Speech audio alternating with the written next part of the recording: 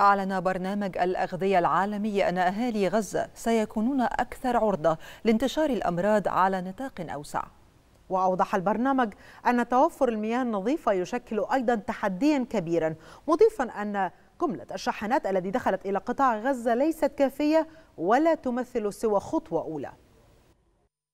لا غذاء ولا ماء ولا وقود ولا مستلزمات طبية. هذا هو حال قطاع غزة بعد نحو أربعين يوما من العدوان الإسرائيلي المتواصل الذي طال البشر والحجر وحول الحياة في غزة إلى كابوس لا يطاق. برنامج الأغذية العالمي في الأراضي الفلسطينية المحتلة حذر من أن جميع سكان قطاع غزة في حاجة ماسة إلى المساعدات الإنسانية وأن مخاطر طبية وصحية عديدة بادت تواجههم في ظل عدم قدرة سكان القطاع المحاصر على الحصول على الطعام الصحي والمياه النظيفة وسط تعطل المرافق الأساسية الأخرى.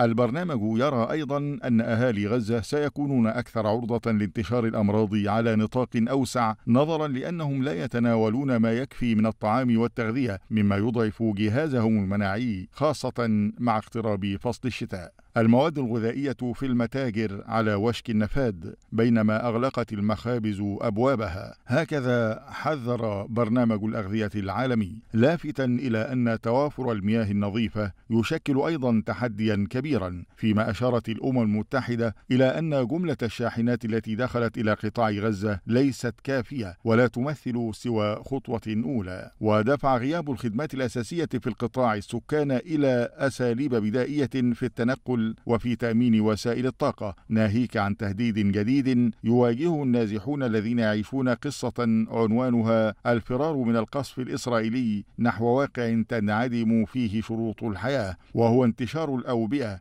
بشكل مؤكد في ظل اكتظاظ المخيمات والملاجئ بالأشخاص حيث كشفت منظمة الصحة العالمية عن تسجيل إصابة عشرات الآلاف من الأشخاص بالتهابات حادة في الجهاز التنفسي إلى جانب انعدام توفر المياه النظيفة للشرب مما يجعل الاستحمام من أمور الرفاهية في واقع صحي يزداد سوءا يوما بعد يوم.